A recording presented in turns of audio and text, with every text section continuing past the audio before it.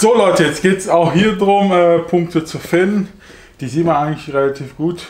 Die Punkte, also die äh, Punktschweißpunkte. Wir haben hier oben die hier, wie auch an den äh, Reparaturblech. Äh, hier unten, da geht es nicht ganz runter, müssen wir mal gucken, wir das nicht auch alles entrostet. Also das geht ja raus und das hier unentrostet, das müssen wir abpunkten, weil das kommt wieder dran. Da müssen wir auch gerade dengeln und entrosten dann. Äh, ja, und dann haben wir hier noch diverse Punkte. Ja, es kommt jetzt so der Hammer zum Einsatz und der hier, damit mache ich nicht. Äh, da konnte ich nicht so gut äh, die Punkte ankönnen, weil ich da eher Bollen reingehauen habe. Aber hier ist der Blech dick genug, dann können wir das machen. Dann läuft uns auch der Schweißpunkt Fräs Bohr Moped nicht so schnell weg und äh, macht Macken rein. Ja, ich lasse das Video jetzt im Schnelldurchlauf äh, einfach durchtüddeln, weil es wird ein bisschen länger dauern da ich die Punkte, wie gesagt, suchen muss, rausfuhren muss, sonst äh, müsste eine Stunde lang dabei sein. Ja, wir machen jetzt so schnell. Und wenn er dann raus ist, zeige ich mal ein paar weitere Sachen.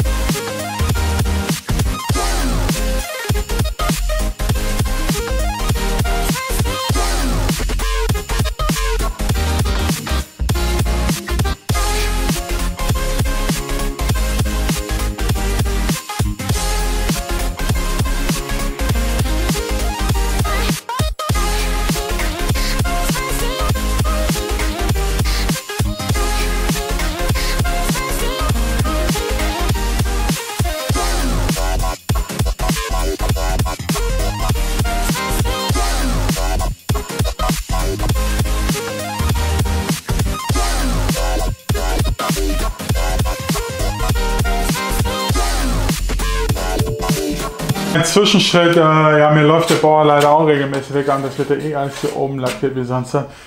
Das ist hier ganz kurios, das ist gar nicht mehr richtig fest, das wird eigentlich hier rangeschweißt, müssen wir nachher mal gucken. Und das sitzt auch an der Karosse und nicht an dem. Jetzt kann das eigentlich sitzen bleiben, bis auf das, aber das ist eh nicht mehr hier dran fest, also müssen wir das abmachen und da wieder dran. Ja, und hier haben die auch irgendwas verschweißt. Nachträglich, weil das wohl weggedrückt war, ich weiß es nicht. Hier unten genauso. Alles sehr merkwürdig. Na, hören wir mal weiter. Irgendwann ist das Ding hoffentlich raus. Das wird aber jetzt ein bisschen mehr Arbeit. Weil, wie gesagt, die haben da irgendwie was zusammengeschweißt, äh, nachdem sie gerade geknüppelt haben. Und äh, Schweißpunkte, äh, die so riesen Knubbel sind, ist hiermit ein bisschen noch doofer auszubauen. Naja, gucken wir mal.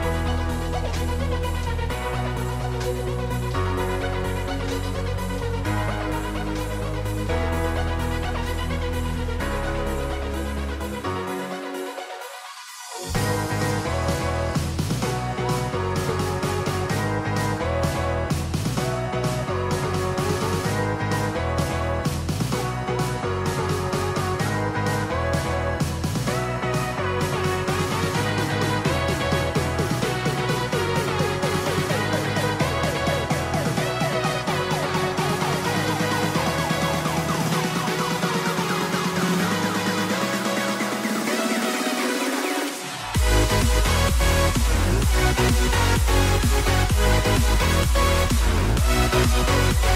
フ。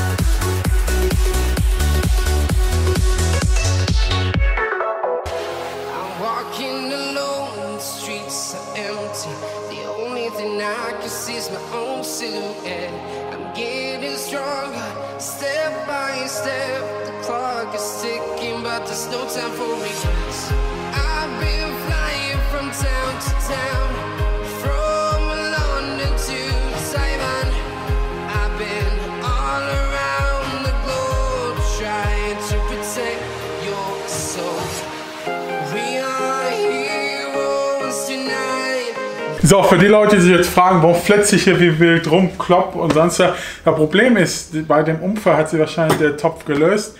Die haben hier unten, kann ich auch gleich mal Kamera zeigen, dicke Schweißpunkte gemacht. Hier waren dicke Schweißpunkte. Hier haben sie das so halb zusammengebraten. Hier sieht man auch noch einen dicken Schweißpunkt. Und hier, äh, die haben es dann notdürftig zusammengebraten. Nachteil ist natürlich, ich kann da nicht richtig ankörnen und auch nicht mit den ähm, Schweißpunktbohrer vernünftig bohren. Äh, deswegen schneide ich das jetzt raus wie hier. Und werde ich dann später mit Fächerscheibe das wieder glatt machen, was wir hier oben. Dasselbe ist hier. Moment. Äh, hier sieht man diesen riesen Knubbel.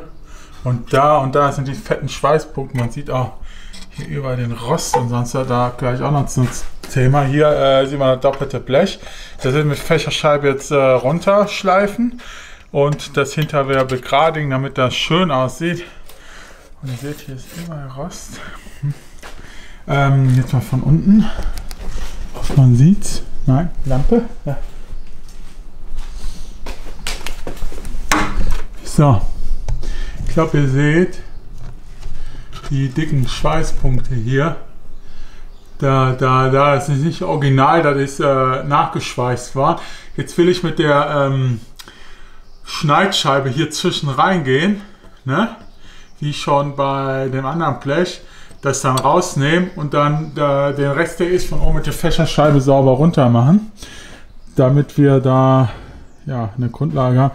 Ich meine, sieht alles sehr vergammelt zusammengenudelt aus. Leider. Ich habe mir ja gehofft, dass Auspumpen gut ist. Dasselbe ist auch äh, das Blech hier. Das haben sie auch notdürftig angeschweißt gehabt. Guck mal, ob ich das hier neu kriege vielleicht. Wir neu machen, genauso wie äh, dieses Blech. Man hat hier schon Rostloch. Dieses Blech auch neu kriege. Ich glaube, es wird doch aufwendiger, als ich gedacht habe. Leider. Äh, ja, ich werde jetzt den Rest hier rausmachen, äh, rausnehmen. Und dann äh, sage ich gleich mal zum Thema Rost und wie wir weiter vorgehen.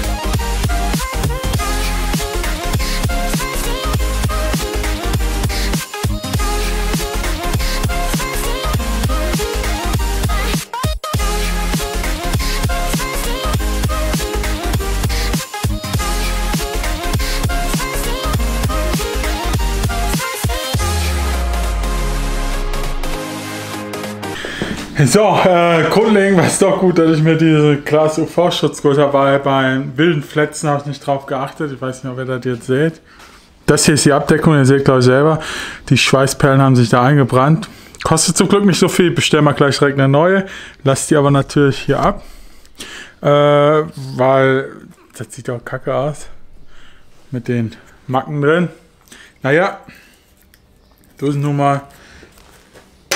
Gott sei Dank habe ich mir die aber gekauft, deswegen äh, werde ich jetzt Sind soweit eigentlich fertig mit dem Rausnehmen. Hier ist noch eine kleine Stelle, da muss ich nochmal mit dem Stabschleifer runterschleifen. Äh, ja, vielleicht war meine Methode nicht die, die einfachste, sonst könnt ihr ja mal reinschreiben. Aber äh, wir haben es raus. Müssen die ganzen Kanten noch gerade gemacht werden. Mit Fächerscheibe plank gemacht werden, überschüssige Metallwerk. Hier ist aber alles in den Kanten am Rosten.